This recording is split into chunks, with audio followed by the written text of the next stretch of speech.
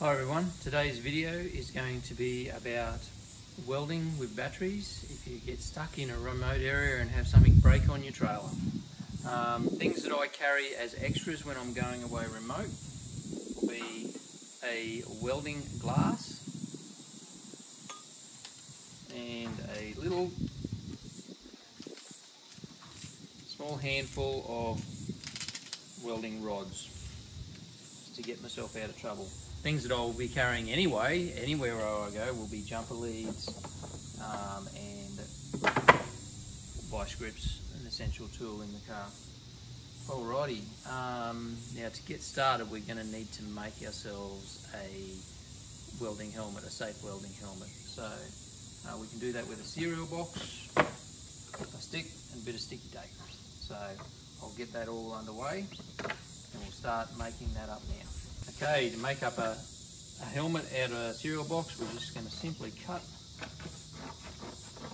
You might not have scissors, but a knife will do the same.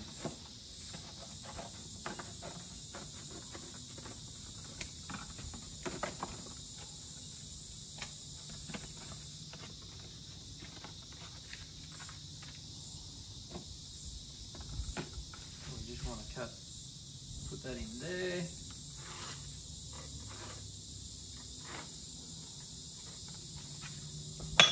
Just scratched a little square in there.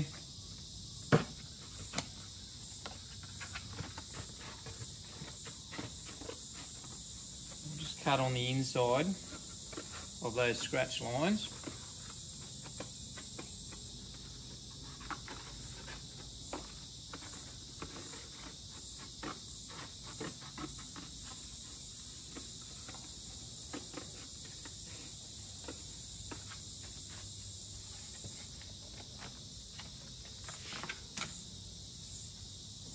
So we've got a little window, sticky tape for that.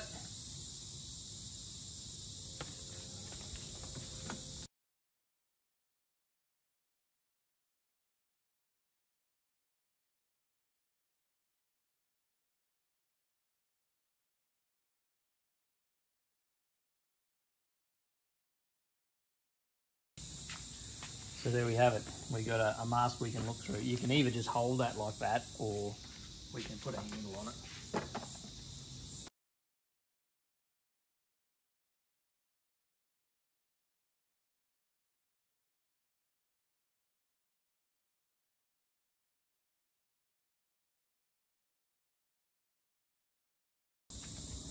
There we have it, a handle and a helmet that we can safely weld through.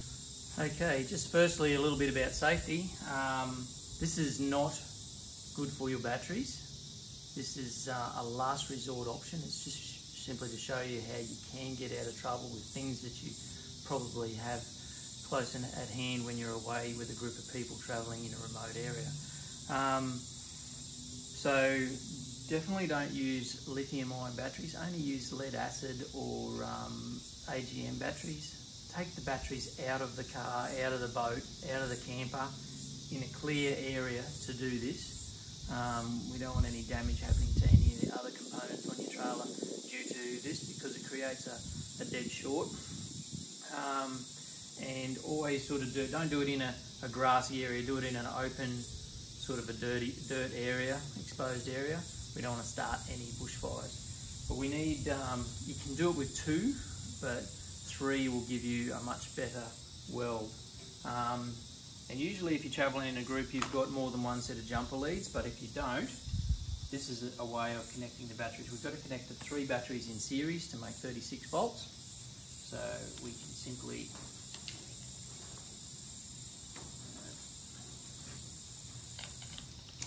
connect.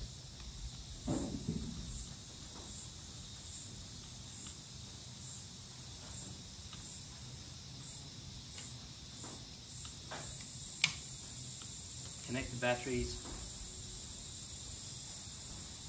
positive to negative, positive to negative. Use the positive on that end, negative on that end. That'll give us our 36 volts. So in series, we're connecting this.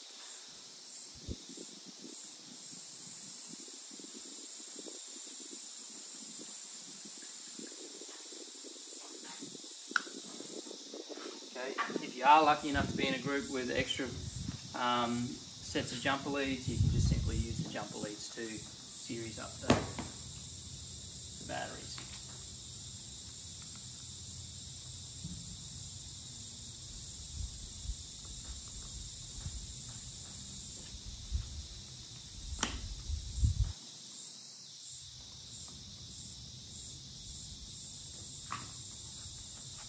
Alrighty, now we're ready, ready to grab a welding rod, a couple bits of steel, and we will show you how to weld. Um, it'll burn a pretty good weld, but if you just tap it, do a big tack, let it go, tap it, do a big tap, let it go, it allows your batteries and your leads to cool down.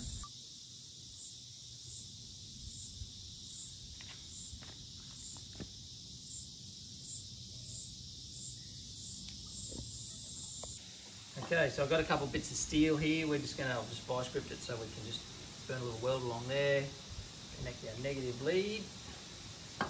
Just be a little bit away from the batteries as you're doing this. I've put a, a rod into here, into the um, positive lead. And we've got our makeshift helmet, which I prepared earlier. So now we are ready to weld.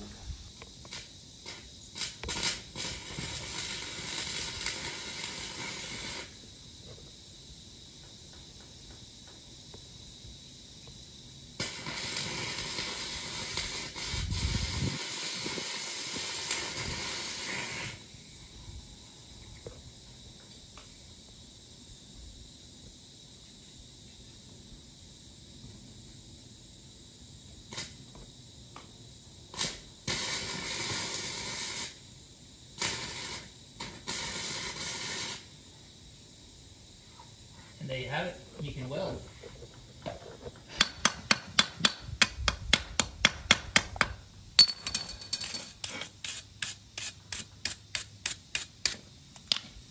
As you can see,